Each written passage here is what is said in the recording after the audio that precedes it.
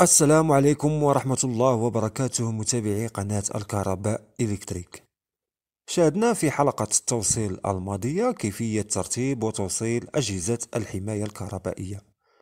ولو دققنا جيدا في طريقة تركيب مختلف أجهزة الحماية الكهربائية سنلاحظ أننا نضع مختلف أنواع الحماية بشكل متتالي ومتتابع.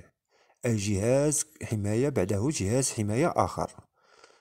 أجهزة الحماية الكهربائية على اختلاف أنواع الحماية التي توفرها كلها تقوم بفعل واحد وهو قطع وفصل الكهرباء أثناء تدخلها للحماية ضد الخطر أو العطب. باستثناء جهاز الحماية من الصواعق والذي لن نتحدث عنه في هذه الحلقة. حسن جدا. إذا حدث خطأ في هذا التركيب هنا. من المفروض أن يفصل هذا القاطع هذا طبيعي بسبب قربه من مكان الخطأ أو العطب وهو منطقي جدا. لكن أحيانا ومع نفس الخطأ قد يفصل الفاصل الرئيسي هنا.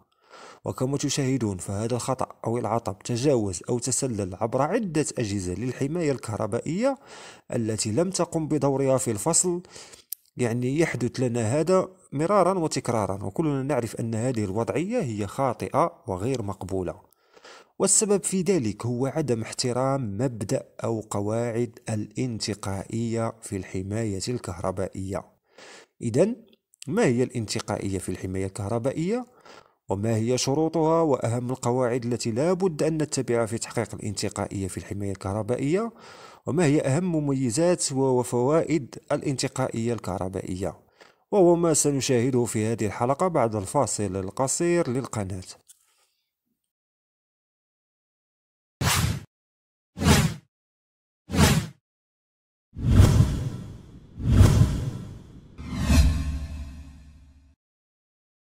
مرحبا بكم مرة أخرى. الانتقائية في الحماية الكهربائية هي عبارة عن عدة قواعد لا بد لنا أن نلتزم بها في توصيل وترتيب وضبط واختيار أجهزة الحماية الكهربائية على اختلاف أنواعها.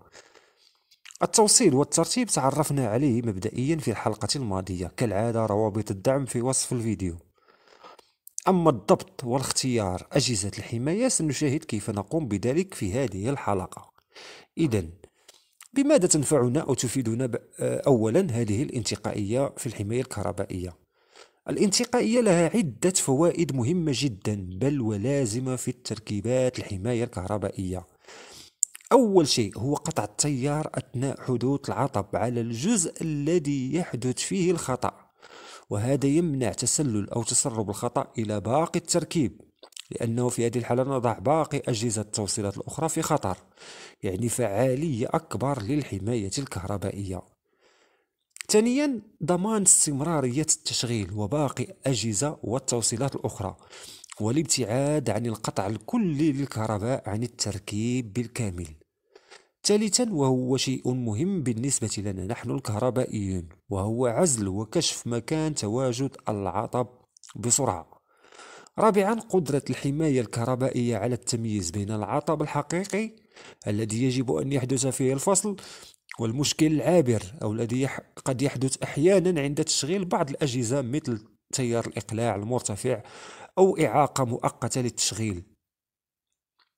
خامسا تقليل الحمل على التوصيلات والتركيبات الكهربائية.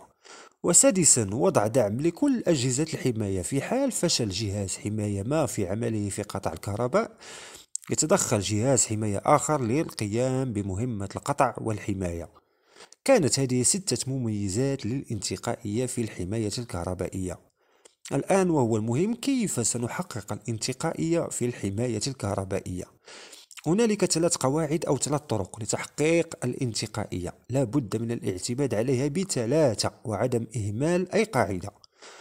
القاعدة الأولى وهي الانتقائية في شدة التيار. لا بد أن يكون تيار القاطع. في المستوى الأول من الحماية أكبر من تيار القاطع في المستوى الثاني من الحماية. وبدوره لا بد أن يكون تيار القاطع الثاني. من مستوى الحماية لابد أن يكون تياره أكبر من القواطع التي توجد في المستوى الثالث من الحماية. وهو. وهنا نتحدث عن تيار الحمل الذي يتواجد في الأجهزة الحرارية المغناطيسية. ونفس الشيء أيضا لتيار التسريب الذي يتواجد في الحماية التفاضلية. طبعا سنشاهد كل ذلك في الحلقات المقبلة إن شاء الله. القاعدة الثانية وهي الانتقائية الزمنية. لابد أن يكون زمن الفصل للقاطع. في المستوى الثالث أقل من زمن فصل القاطع في المستوى الثاني.